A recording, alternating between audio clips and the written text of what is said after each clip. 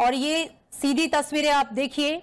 प्रधानमंत्री नरेंद्र मोदी संसद भवन के पुराने परिसर से बाहर निकलते हुए और उनके साथ तमाम केंद्रीय मंत्री सांसद गण आप देख सकते हैं ये तस्वीरें भी अपने आप में ऐतिहासिक हैं क्यों क्योंकि ये कदम बढ़ रहे हैं संसद के नए भवन की ओर और, और इतिहास गढ़ने के लिए भारत को विकसित बनाने के संकल्प के साथ एक साथ मिलकर कदम से कदम मिलाते हुए संसद के नए भवन की ओर अग्रसर प्रधानमंत्री नरेंद्र मोदी, साथ में लोकसभा अध्यक्ष ओम बिरला, केंद्रीय मंत्री राजनाथ सिंह, केंद्रीय मंत्री अमित शाह और तमाम सांसद उनके साथ इस वक्त मौजूद हैं। सब साथ में प्रीति, ये भी जो तस्वीरें हैं वो ऐतिहासिक हैं, क्योंकि आप देखिए कि प्रधानमंत्री ने पहले भी कहा था कि पुराना घर छोड़ के जब हम निकलते हैं तो यादों का एक बस्ता समेट कर निकलते हैं। अ, कहीं ना कहीं एक एक भावना जो होती है भाव होता है उसे छोड़ने का जो एक दुख होता है।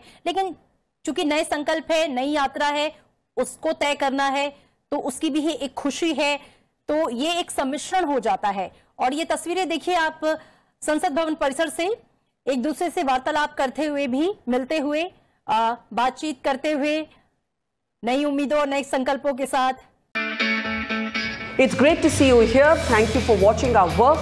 If you haven't subscribed yet, don't forget to click the bell icon and subscribe to Mojo Story and support independent, robust journalism.